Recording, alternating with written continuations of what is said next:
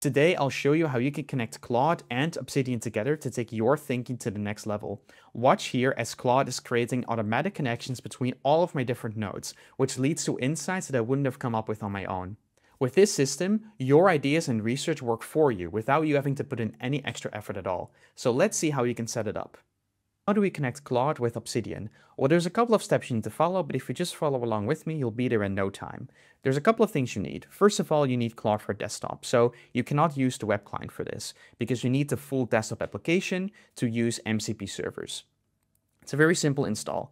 Next, you need to have Python installed, and you need to install UV, which is a package manager for Python, because this is going to be the tool that Claude will call to start up the MCP server whenever Claude Desktop starts. Again, no worries if you don't have this, all the links will be in the description. Next, we're going to be using this MCP Obsidian server by a great open source contributor. I've checked out a couple different variants of these servers and some of them are read-only, but this one also allows you to create files, which is very nice, and I'll show that later on. So once you've installed the Claude Desktop app, I would recommend making sure you've got UV installed. The way that you can install that in Mac or Linux is with a simple command. So I'm going to go ahead and paste that in my terminal just to make sure I've got it all installed. And there you go, it is. And then the next thing I'm going to do is I'm going to go ahead and clone that MCP Obsidian server. Great, so now if I check out ls, you can see that I've got MCP Obsidian installed right there. If I go into the folder, you will see that there's a couple of files, you know, it indicates it's a Python project, etc. So what else do we need? Well, if we check out the repository instructions, you see that we need to get an Obsidian REST API key. But Obsidian doesn't really have a REST API available by default. However, there's a great community plugin that we can enable in our Vault that gives us a REST API. So what we're going to do is open up Obsidian and I'm going to go ahead and create a new vault. So I'm going to go and click on File, then I'm to do open vault and I'm going to create a new vault in the same location where I put the MCP project. But And I'm going to put this vault in the same folder as the MCP project. You don't have to do that, but it's just convenient for me to show it off. And I'm just going to call it MCP test for now. Then in terms of folder, I'm going to put it in that folder where I put the MCP server. Again, not necessary, but I just prefer to do that in this case. So I open up the vault and what I can do now is in the settings, I will go to community plugins and turn on community plugins. Then I'm going to go ahead and browse the community plugins and I'm going to find the REST API plugin right here. And this is the one you need. It's used by a lot of different people and it's quite a great plugin. I'm going to install it and immediately enable it as well and then check out the options because in the options we will find the API key. Now, I'm just showing this API key in plain text. It doesn't matter because I only run this locally. You could technically host your MCP server on some kind of cloud service and then that way, of course, you will need this API key, but in my case, it's just something that's necessary, but yeah, it doesn't really hurt for me to share it because I'm running all of this locally. No other computer can actually access this API server, so it's totally fine. Now, I'm going to go ahead and copy this API key. And we need to place it somewhere, right? But where do we actually place it? Well, I'm going to go and reopen that terminal of mine because I'm going to put it in a .env file in that folder that we cloned. So I'm just going to use Nano to create a new file. You can also just do this in VS Code or text editor. It's totally fine. And then you want to call this Obsidian API key. Now, I'm getting that from the repository instructions. You see here that you can create a .env file and you need to use this Obsidian API key value and then paste your API key in there. So I'm going to go ahead and do exactly that. I pasted in the API key and now we can simply save this file. And now if I do ls again, you will see that we've got this .env file, which will be referred to every time the server starts up. Now then, how do we actually make sure that Claude can access this MCP server? Well, we have to change the MCP server config for that. And there's a couple of different options out there, but I'm going to follow this one here. There's a development server configuration, which I think is a great one if you're just starting out. And you can see here that UV is being used by Claude to start up the server. So one thing I do need to know is the directory where I put this folder in. So I'm going to go ahead and check that out. So I'm going to cd out of that specific folder and then just check out what my current working directory is. And then that's great. I'm going to refer to that as well.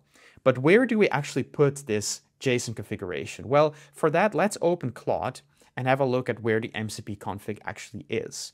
So once you open Claude, what you can do is you can go into the Claude settings and then check out developer and click on edit config. And then you'll eventually just land in the location where your config JSON is defined. So I'm going to go and open this one with just a simple text editor. And you'll be able to see that it's just a plain file at the moment. There's not much in here. So I'm going to go ahead and copy this definition from that repository and paste it in here. Just going to move some things around here because I do, of course, want to change that directory to actually refer to the directory where I've got on this MCP server installed. So again, I have printed out the directory in here. So I'm going to go ahead and paste that and replace the value here with that. Now that should be all you need to do to get it to work, but in my experience, I have had trouble with Claude finding this UV command. So what I do recommend you to do is check where exactly UV was installed by typing a command like which UV. And in my case, I'm actually just going to copy this direct path where UV is installed. Whether you have to do this or not depends on your configuration, your machine, but I found this to be much more reliable. So I'm going to save it like this. So it's going to call UV with this directory command and it will run the MCP Obsidian server. The nice thing about UV is that it will automatically install and keep dependencies uh, installed for you and you don't have to just do that manually. It will just do it the first time that this command runs. So this is all that you should need to do. So I'm going to go ahead and quit that config and I'm just going to also quit Claude and restart Claude Desktop here. Now, Claude is pretty silent. It doesn't really tell you much about whether or not the MCP server is installed or not. However, you can actually see that I've now got this kind of tool icon within 8 available because I've got 8 MCP tools available to me now. So I can do things like appending content to a new or existing file in a vault. I can do a complex search, get file contents. It's really cool. But I'm just going to go ahead and show you how this actually works. So let's go and open our Obsidian Vault right next to Claude to see how Claude can investigate and update the vault as we go. Cool, so you can see that I've got an empty vault and just to test, I can ask it to create a new file with random facts in Obsidian. So this is just a nice random test to see if it even works in the first place. And now you can see that it's going to run that tool from MCP Obsidian. And you can see that it passes parameters like the file path, the content, and now I have to give permission for it to use that tool. I'm just going to allow it for this chat because it's convenient to just be able to, you know, not have to click that button every single time, right? And now you can indeed see that there's this random facts markdown file. Really cool stuff. Now, of course, Claude is pretty smart. So when you wanted to actually consistently create things like connections in your graph view, it can also do that. It all just depends on how well you define what Claude is supposed to be doing for you. So in my case, I'm curious to see if it can actually rework this file and maybe create a couple of connections and then create a couple of other files to prove that it can understand how to create connections independently. So let's go ahead and ask something like that, right? I want you to prove you can create meaningful connections to fill up my graph view in Obsidian. Edit the file to add a bunch of connections and add a few more files to cross-reference. Let's see how it picks up on this task. So first, it's going to edit that file. Sure, go ahead. And then you can already see, boom, we're getting interesting things in our graph view. I'm going to go ahead and highlight that a little bit because I know it's quite small. Let's go ahead and zoom in. So you can indeed see, whoa, okay, it's going quite quickly. You can see it's starting to add animal facts, plant facts, and random facts. And the random facts, whoa, okay, I can barely keep up. it's connected to a couple different elements. So, oh, goodness, maybe we should give this a, a, second to process because it just keeps adding new and new information. Um, yeah, you can see that on the left, it's just creating new and new files. So I'm actually just going to go ahead and just stop it from generating because I'm happy with this, but it's going a bit too crazy. I just want to show how it works.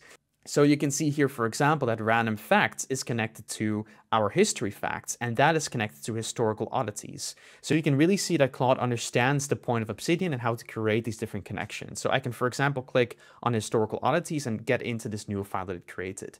Now, the nice thing about this is that it means that you can just give it a dump of whatever notes you want to take, and then it will create the connections for you and keep them up to date if you might be missing connections. And I find this to be amazing because while I like the idea behind Obsidian and creating these connections, I find that I myself often forget to create them when I need to. So it's really nice to have a system that could create them for you proactively or just review your entire vault for you to see if you miss any connections. Really cool stuff. So I'm going to give you some pro tips here that you should really follow to get the most out of this plugin because while I showed you some random examples, you want to make this work for your use case. Right? So I recommend you to create a separate Claude project and call it something like Obsidian Note Taker.